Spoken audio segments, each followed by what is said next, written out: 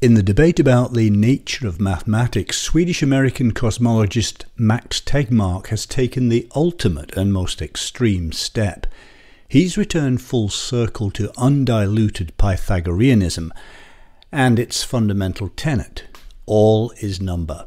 In what he calls his mathematical universe hypothesis, Tegmark denies the existence of anything other than mathematical objects. Somewhat disturbingly, this would include even ourselves and the contents of our minds and awareness. Consciousness, says Tegmark, is probably the way information feels when it's being processed in certain very complicated ways. If he's right, then the same kind of unification that's already taken place with regard to electricity and magnetism, matter and energy, and space and time would at some point see mind and maths brought together. If that ever happened, our experience of being and of being someone in the world would come to be regarded as just another manifestation of data being shuffled around inside some all-encompassing cosmic computer. The realization that everything that makes us who we are could be reduced to maths and nothing more would represent the final vindication of the core belief held by Pythagoras and his followers two and a half thousand years ago. But there's another side to the debate about maths and its status in the world.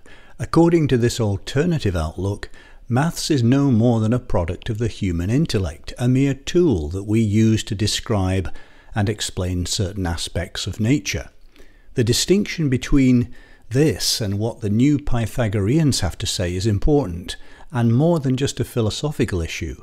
If maths does prove to be just a mental construct, then at some point its limitations will become apparent, and we'll have to accept that there are constraints on how much it can tell us about reality. Without becoming a card-carrying Pythagorean, it's become common for scientists to remark on the power of maths to describe, with surprising precision, the world out there. Einstein asked, how can it be that mathematics, being after all a product of human thought, which is independent of experience, is so admirably appropriate to the objects of reality? But are we kidding ourselves that maths is always so good at modelling the way things actually are? Looking at school physics and maths problems, you can see how massively simplified they have to be in order that students can figure out exact solutions to them expressions such as frictionless surface, perfectly elastic collision, and particles joined by an inextensible string are common. In the same way, in pure maths, only certain types of equations, integrals and so on are ever tackled.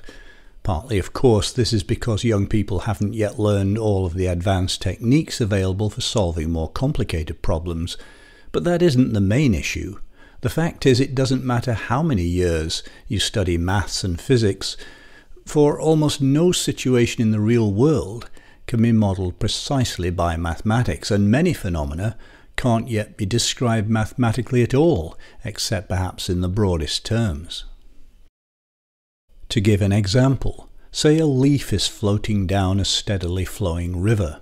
It's easy to work out how far the leaf will travel in half a minute if we know how fast it's moving. But in saying this, we've already isolated and simplified a tiny facet of a real situation that we know will be mathematically tractable. How about if we ask for the exact motion of the leaf over the course of that half minute? This would involve being able to predict in advance how the water around the leaf would flow millisecond by millisecond, including small disturbances caused by currents, bends in the river, unevenness of the riverbed, and the action of any wind at the surface of the water. Or take another example. Say you drop a stone from a height of 2 meters. It's very simple to work out how long it will take to hit the ground and the speed at which it will be travelling when it lands and your calculations will match pretty well any measurements you make of the drop. But try to model the exact motion of a feather as it descends, out in the open with a gentle breeze blowing from the same height, and you'll have no luck at all. Almost every Activity in the physical universe is messy. It involves complicated objects, forces pulling this way and that, and incredibly intricate dances of numerous components such as molecules, raindrops, or stars. One of the reasons we get the impression that mathematics is successful in describing the real world is that we cherry pick problems for which we've found a way to apply the maths and laws that we know.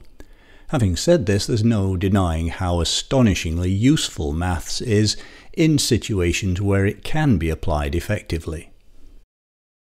No bridge, tunnel, dam, or skyscraper is built these days until a thorough analysis has been carried out that involves working out stresses and strains on every part of the structure under a variety of conditions. Maths is the indispensable tool of the cosmologist, the theoretical physicist, the spacecraft engineer, and the meteorologist. It's exceptionally important to us in predicting and explaining how certain things or systems behave. But still, the fact remains we tend to focus on where it's been successful and ignore the countless examples in nature in which, for the time being at least, it's almost entirely ineffective. Some problems that can't be solved exactly or by analytical methods are at least open to approximate solution by numerical methods. The advent of powerful computers has allowed scientists and mathematicians to simulate systems that are otherwise too complex to deal with. Weather forecasting is a case in point. In the past, knowledge about whether it would rain tomorrow or be sunny was largely in the lap of the gods. Local experts, based on long experience and old records, might do better than the average person at predicting meteorological conditions over the next day or so, but flipping a coin might be almost as effective.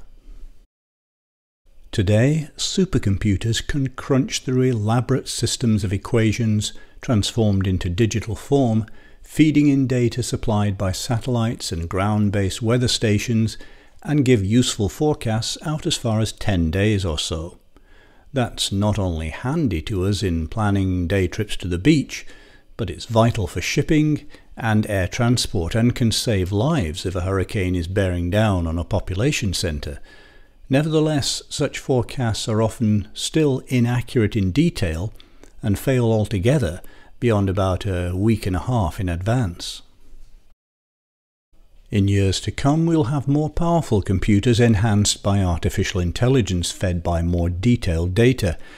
But at some point, the complexity of almost all natural phenomena, whether it concerns the weather or the evolution of a galaxy, will overwhelm our ability to simulate it. The universe itself is ultimately the only accurate, real-time simulation of itself.